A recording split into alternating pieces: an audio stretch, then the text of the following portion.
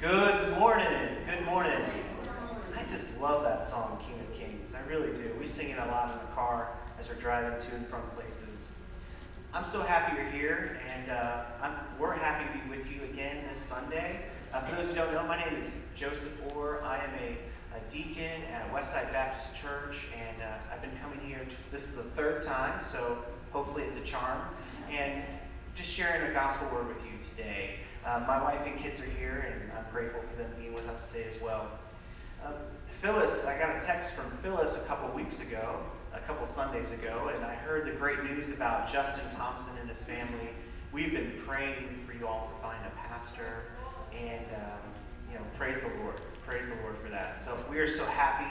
Our life group has been following the progress of your church, and uh, we're just so grateful for what the Lord has provided to you all, and we're we are praying for safety for Mr. Thompson and his family to come as soon as he can. As soon as he can. But today we are going to be in a wonderful little book of the Bible, uh, the letter from First, First John. Uh, First John is only five chapters long, but they are packed full of stuff. And we're only going to talk about four verses today because it's deep. So we're going to be in First John chapter 1, verses 1 through 4. And I want to introduce a couple things about this letter because it can be confusing at times if you're not aware of John's style. And I just want to make sure we're all together as we walk through this uh, today. First, John is the author. There are so many connections between the Gospel of John and this letter, the, the meanings between light and dark, and hearing and seeing equaling believing have to, it almost is assumed that you have heard the Gospel of John, according to John, right? So uh, keep that in mind. There's lots of connections there. Also, this letter was sent to a specific group of people. Now, sometimes in letters it said to the Romans, to the church in Ephesus, to this and that. Um, this one is what we would call a circular letter. And what does that mean? It's a letter that you, it's meant to be shared. So the letter to the Corinthians, while it was shared, was addressing stuff in the Corinthian church particularly, and of course, those teachings can be broadened out. This, this letter is meant to go to several churches, probably in Asia Minor, um, where he had a lot of influence and time spent there as an elder. Um, so that's important to understand that these are meant for a specific group of people, so they're believers, they're churches, and they're struggling with something. And it's important to know that. Uh, some of these things they're struggling with are false teachers and false teachings that's crept in. Um, some of these things they're teaching with is, if you go into the letter, you'll hear this term, the Antichrist or spirit of the Antichrist. These people who aren't believers that are causing uh, disruption in the unity and fellowship of the body of the church. So there's just uh, there's a couple other things too that's important, but uh, when I'm back here in July, we'll go into that more because we'll uh, have the, the verses to back it up. All right, question for you. Who's heard the phrase old wives' tale? Raise your hands. Sure, everyone, right? Raise your hand if you've heard this tale before. Um, you can't swim until you've had 30 minutes after eating. Right? Right, okay. I was told that. I was told that. Uh, who's been told or who's heard if you cross your eyes for too long, they'll get stuck that way? Now, who said this to kids? If you make that face, it's going to be like that forever, right? Said that to my kid just last week. Um, who's heard this? It takes seven years to digest a piece of gum. That's why you don't swallow it, right? Who's heard coffee stunts your growth? Right? Who's heard humans only use 10% of their brains? Okay? Yeah. Uh, don't go outside with wet hair, you'll catch a cold. I didn't hear that much. My hair's basically been this short my whole life. It dries quick, but I'm sure others maybe not so much. See, these are things that people say and they repeat over and over and over again, and we can all smile and laugh because there may be a little bit of truth. Like for the swimming one, you know, technically you're not going to die if you go swimming right after you eat. The worst thing that's going to happen is you're going to get a little cramp and you deal with it. You move on. But it's not going to hurt you. It's not going to end your life. So there's tiny nuggets in these little wives' tales, but they're not really true. But these are things you, people say, and you've heard it so much that we just assume it's true. We just assume it's true. But what I want to talk to you today is much more important than just an old wives' tale. Um, what is not an old wives' tale is that our Lord and King Jesus Christ is real, he's sitting on his throne in heaven, and that he commands you and me and every single person in this world to believe. And so, our main idea today is this I want you to know that your faith is real. That's our main idea today, that you know your faith is real. So I'm going to read the text. It's only four verses, so it won't be long. Uh, we're in 1 John chapter 1, starting at verse 1. That which was from the beginning, which we have heard, which we had seen with our eyes, which we looked upon and have touched with our hands concerning the word of life. The life was made manifest, and we have seen it and testified to it and proclaimed to you the eternal life, which was with the Father and was made manifest to us. That which we have seen and heard, we proclaim also to you, so that you too may have fellowship with us, and indeed, our fellowship is with the Father and his Son, Jesus Christ. We are writing these things so that our joy may be complete. Amen to that. So, our main idea I want you to know that your faith is real. And the first point is you need to know that Jesus is real. Jesus is real. What is the that in verse 1? What is the that which was from the beginning? And of course, if you've read the Gospel of John, it starts off from the beginning, right? And you can think of all those allusions. We'll get there, but that's not what that is in verse 1. That is, in verse 1, the gospel proclamation. That is the gospel, which is from the beginning. And what is John trying to say here? The gospel message has not changed. It is the same as it was in the beginning it's the same as to the church he's writing to, and the gospel message is the same that we proclaim today. There's, he's also saying this that there is a stability in the message of the gospel. That this message, if we, when we believe that Paul wrote this, this message that is the power of God for salvation to everyone who believes. Romans 1, verse 18. That is the gospel. That which is from the beginning. All right? It's important to know that. This gospel is the same from each of the apostles. The gospel that John shared, that Paul shared, that Peter shared, that all the other people throughout the history of the church that got to you, it's the same gospel.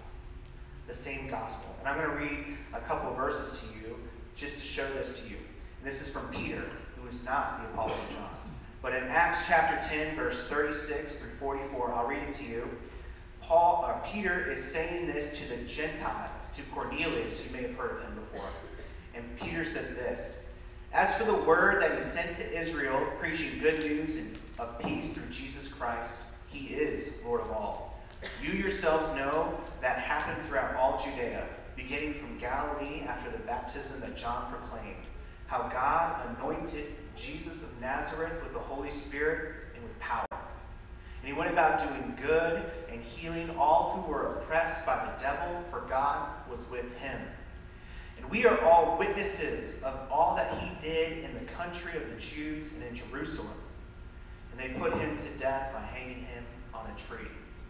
But God raised him on the third day and made him to appear, not to all the people, but to us, who had been chosen by God as witnesses who ate and drank with him after he rose from the dead. And he commanded us to preach to the people and to testify that he is the one appointed by God to be the judge of the living and the dead. And to him all the prophets bear witness that everyone who believes in him receives forgiveness of sins throughout through his name.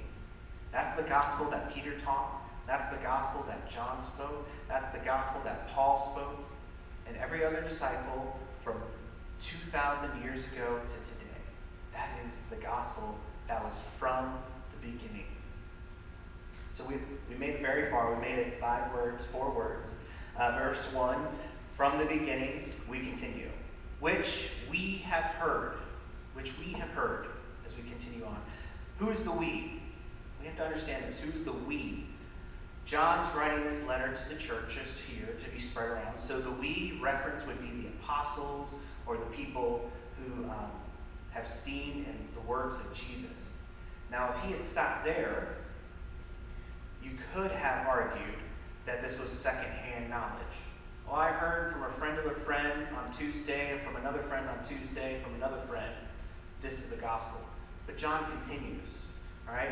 John is building evidence that the proclamation that he is sharing with the church is not man based, but instead comes from Jesus Christ himself. He continues, which we have seen with our eyes, which we looked upon. So he's heard it, he's seen it, he's adding another sense, literally a sense of the five senses, to this evidence of the quality of John's proclamation. He's telling us that not only did he hear the words of Christ, but he was there with Christ to see him. Paul writes in Galatians chapter 1 verses 11 and 12, "For I would have you know, brothers, that the gospel that was preached by me is not man's gospel. For I did not receive it from any man, nor was I taught it, but I received it through a revelation of Jesus Christ." Remember, Jesus and Paul had this moment on the road and changed Paul's life forever? That's what we're talking about. John is saying, I have heard these things, I have seen these things. He continues. John continues. And we have touched with our hands concerning the word of life. Another aspect, he just adds this, of the intimate knowledge of Jesus. Okay? So maybe some people had seen Jesus, and maybe some people have heard what Jesus said, but not everyone was there when Jesus appeared after the resurrection I'm going to point you to Luke chapter 24, verse 39. Jesus says to his disciples, See my hands and my feet, that it is I myself. Touch and see. For a spirit does not have flesh and bones, as you see that I have. See, John was there. He heard Jesus. He'd seen Jesus. He was there to touch the wounds and verify it was Jesus before him and not someone else. That is where this message comes from. This testimony, this proclamation of the gospel is not just a message. While it is a message, there's a declaration, but this gospel is embodied in Jesus himself. An embodiment. And a final aspect that we need to look at for knowing that Jesus is real is on to verse 2. The life was made manifest, and we have seen it, and we testify to it and proclaim to you the eternal life, which was with the Father and was made manifest to us. Now, look, the word of life that was with the Father. Now, when you think of first the Gospel, chapter 1, John, from the beginning, right? Verses 1 through 3. In the beginning was the Word, and the Word was with God, and the Word was God. He was in the beginning with God, and all things were made through him. See, Jesus was a real person flesh and blood, seen and heard and touched. In that Luke chapter, he even asked the apostles or the disciples at the time for some food because he was hungry. I don't know how much more human that can get. But Jesus is also God. From the beginning, before the world was created, Jesus was there with God. And all things have been made through Jesus. And life, life flows from Jesus to those who believe. The eternal life comes from Jesus. So, Jesus is a real person. Jesus is also God. And Jesus is eternal.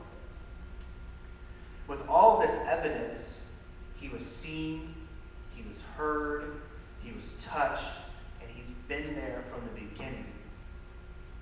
Jesus is real. And that's our main idea. One of our main ideas know that your faith is real, in order to know that, you have to know that Jesus is real. That's point one. Point two that in order to know your faith is real, you have to know that the result of your faith is real. Let's unpack that.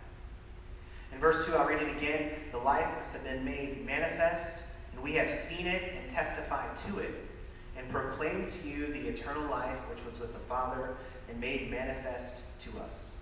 See, it's, it's important when we read the Bible and we see the same kind of words back to us. When, when the Bible, the writers and the authors of the Bible books, they say the same things again and again, that's a clue, that's important. Right? There's other clues too. When there's a therefore, you have to ask the question, what is the therefore for? Well, when we see that, again, John writes, we test it, we have seen it, and he uses the same word manifest twice in a sentence. So this is the second time John has mentioned seeing Jesus, the embodiment of the gospel, the God, King, and of course man. Then we move on to verse 3. That which we have seen and heard, we proclaim also to you, so that you have fellowship with us.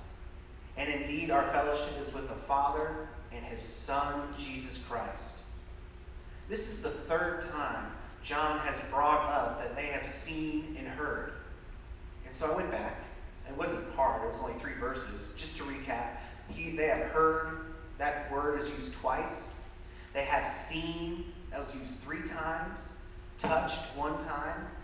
And the word manifested, which basically means all three of those senses, two times. John, in this literary work here, is saying, like, this person is real.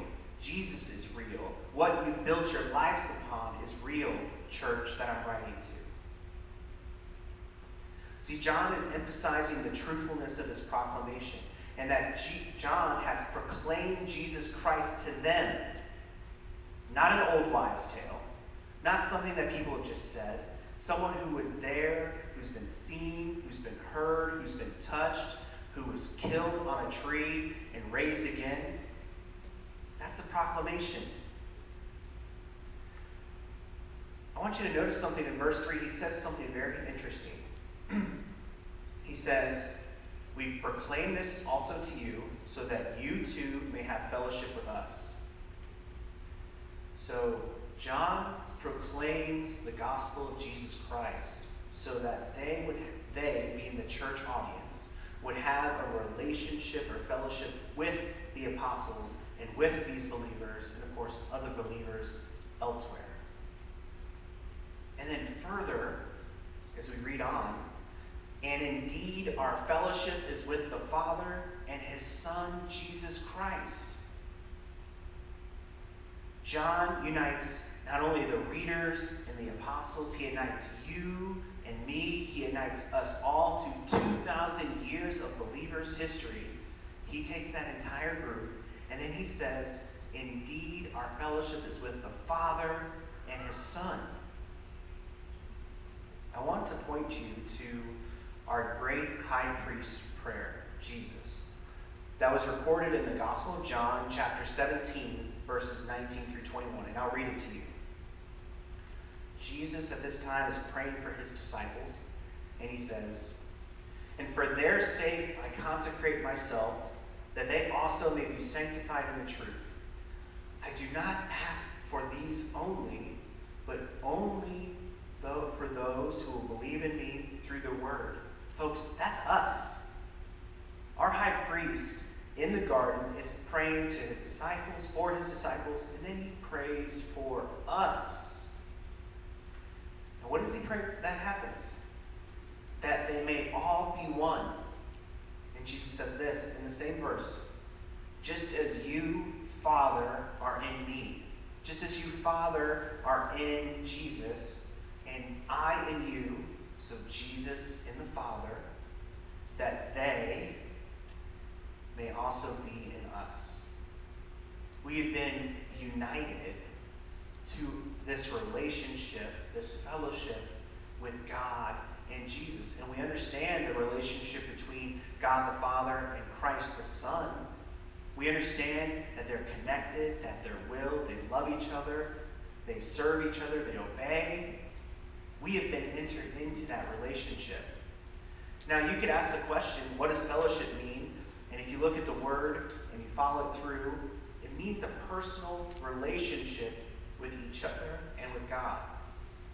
So, personal relationship. That becomes our identity as Christians. So, John starts this letter off as a foundational point for the believers to understand no matter the hardships they're having, their identity, their identification is not who they are, it's who they're in fellowship with. In this way, you can be assured in that you, in fact, know God because you're here. You, in fact, know God because you believe in the gospel, because you have been united. Remember your baptism. Remember your baptism, or anyone else's baptism, depending on how long ago it was, right? Anyone's baptism, we tell this story. We say, look, you have been united in Christ's death as you go down into the water, and you have been united in his life as you come up. You are in fellowship. We are in fellowship with the eternal God. It also has to ask this question who does not have fellowship with God? Who does not? The unbeliever, the unregenerate, the rebels against God. The Bible calls them children of wrath. And the truth is, is that all of us have been in that state. We do not come into this world a believer. all of us are born under Adam and in Adam. And so we have a sin nature, we have a heart of stone, we have this desire to rebel against God. Some point in your life, depending on God's plan for you, it could have been when you were six, it could have been when you were 60. At some point, something changed. And how did you come into that fellowship? By the grace of God through faith in the gospel message. That message that is this that the declaration that God has defeated the powers of sin and death, and that he has saved sinners through his perfect life, death, and resurrection of his Son, Jesus Christ. And that by grace alone, through faith alone, the perfect righteousness of Christ is imputed to sinners. And when you believe who Jesus is and have faith in Jesus, he did all those things. And he is who you've been entered into a relationship with, a fellowship. Folks, the results of your faith are real. Your faith is a real thing. Your faith is a gift from God. And the results of that is you have been united with Christ. If you understand the words of John 6, verses 37 through 39, he says this All that the Father gives me, this is Jesus speaking.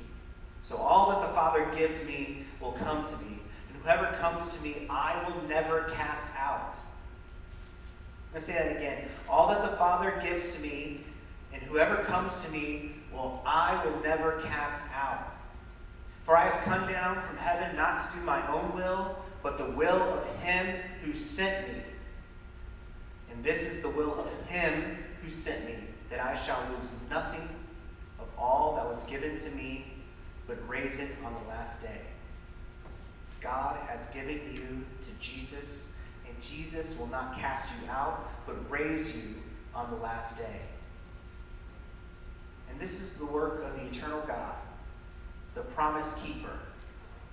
We are told to have faith. God is faithful.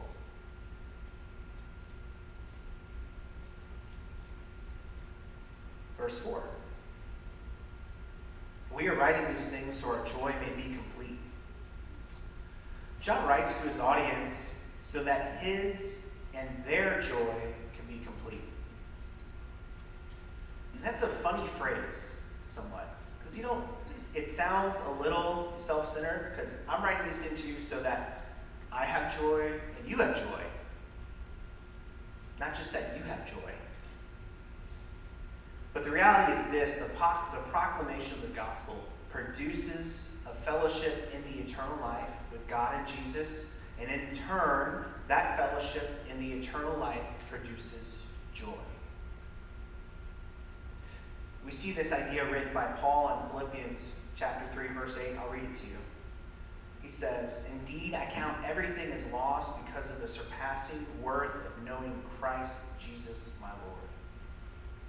Everything is worthless compared to knowing Christ. Brothers and sisters, regardless of your situation, where you find yourself, you cannot lose the most valuable thing in the universe. You cannot lose what Christ has done for you.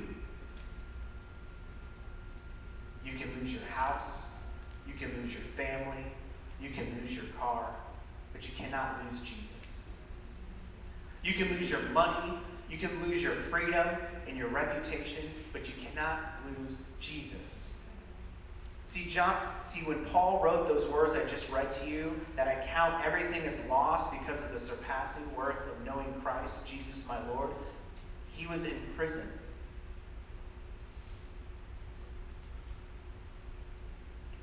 This is why our faith is real. Because Christ is the foundation of our lives, and Christ is who carries us to the end and then to eternity. From the moment we believe, we have been as died in Christ and raised in Christ. And because Jesus is real, the result of your faith is real, you can know that your faith is real. So, what do we do? So, John starts this letter off building a foundation for everything that he's going to say after this, to remind them of who they are, Christians to remind them of what God has done for them. And that is the basis in which he says to do everything else. So I think that's a good application.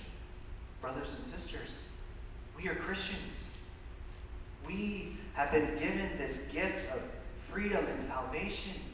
And not because we're better than anyone else.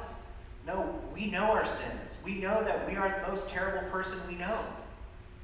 We know that we don't deserve this gift that God has given us by his mercy and his grace.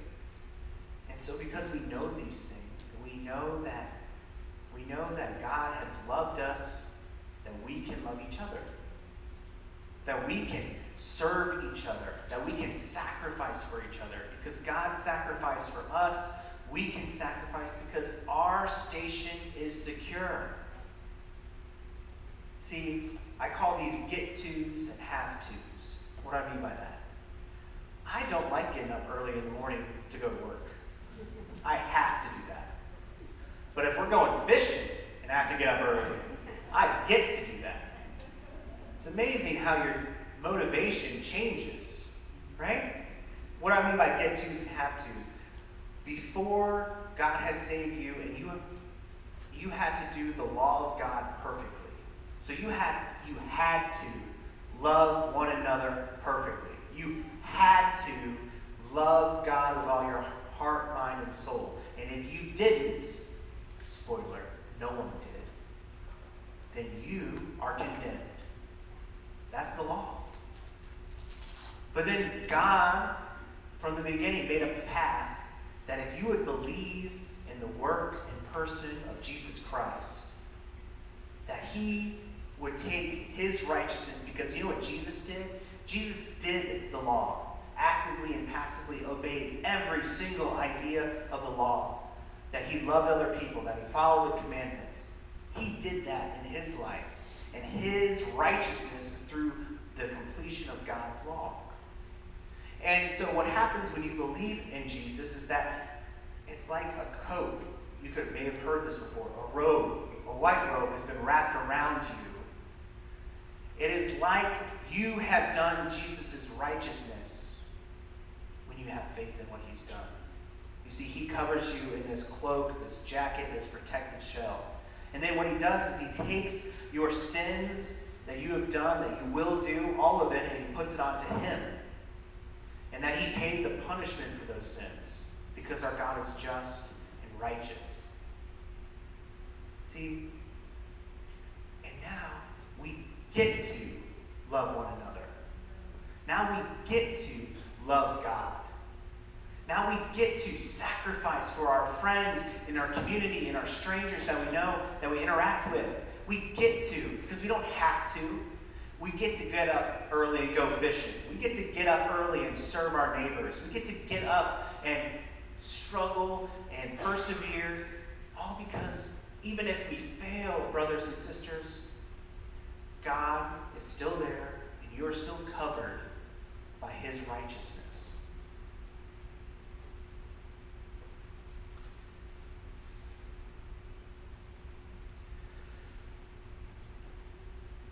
Brothers and sisters, I think it's important that every week we finish up and that if there's one thing you had to do or got to do according to this sermon application this week, is that you get to focus on Jesus Christ. You've been awakened to what He's done for you. Your eyes have been opened. Your heart of stone has been changed to a heart of flesh. He's changed your spirit and your desire. So you get to focus on Jesus Christ. And through that, you can love, serve, sacrifice, care for one another. At this time, we're going to have a um, time of invitation.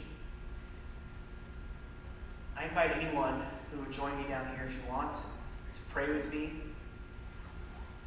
If you have been moved by the gospel and what God has done, and that you repent and believe in the man, God, Jesus Christ, you would join me down here. Otherwise, if you would pray as we're listening to this song, if you would pray for those who don't believe, to pray for our community that God would open their hearts and open their minds, and that they would come into fellowship with us and with the Father and Son. Thank you.